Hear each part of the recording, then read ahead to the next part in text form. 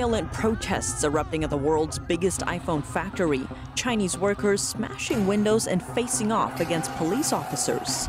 A Taiwanese colonel charged for taking bribes from China. That's for promising to surrender in the event of war with Beijing.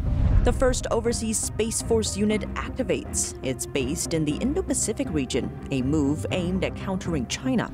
Republicans in the House taking aim at TikTok. A letter to the social media company's chief executive suggests the platform may have misled Congress. And China securing one of its biggest ever natural gas deals with the world's top exporter. $60 billion are on the table, but Europe still on the fence over energy goals.